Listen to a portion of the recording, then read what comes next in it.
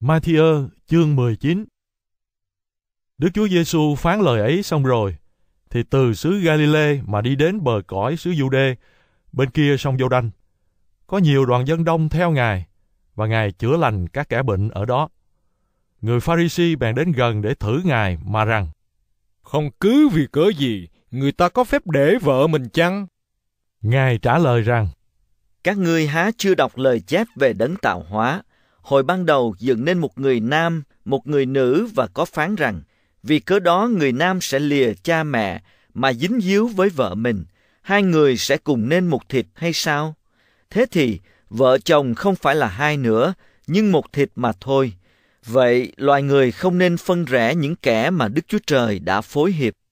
Họ lại hỏi Ngài rằng, Vậy chứ sao môi xe đã dạy lập tờ đế đặng để vợ đi?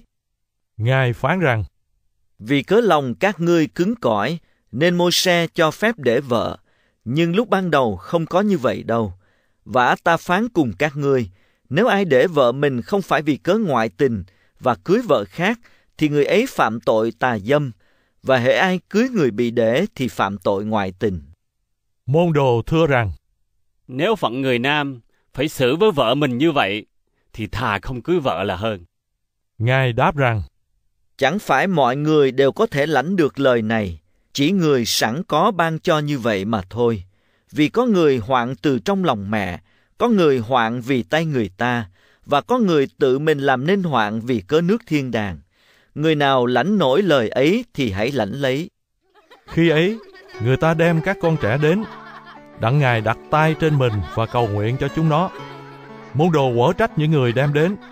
Xong, Đức Chúa Giêsu phán rằng, Hãy để con trẻ đến cùng ta, đừng ngăn trở, vì nước thiên đàng thuộc về những kẻ giống như con trẻ ấy. Ngài bèn đặt tay trên chúng nó, rồi từ đó mà đi. Này, có một người đến hỏi Ngài rằng, Thưa Thầy, tôi phải làm việc làm chi cho được sự sống đời đời? Đức Chúa Giêsu đáp rằng, Sao ngươi hỏi ta về việc lành? Chỉ có một đấng lành mà thôi. Nếu ngươi muốn vào sự sống thì phải giữ các điều răn.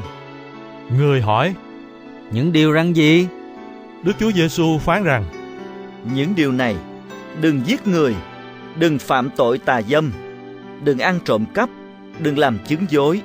Hãy thảo kính cha mẹ và hãy yêu kẻ lân cận như mình. người trẻ đó thưa rằng, Tôi đã giữ đủ các điều này, còn thiếu chi cho tôi nữa? Đức Chúa Giêsu phán rằng, Nếu ngươi muốn được trọn vẹn, hãy đi, bán hết gia tài mà bố thí cho kẻ nghèo nàn, thì ngươi sẽ có của quý ở trên trời, rồi hãy đến mà theo ta.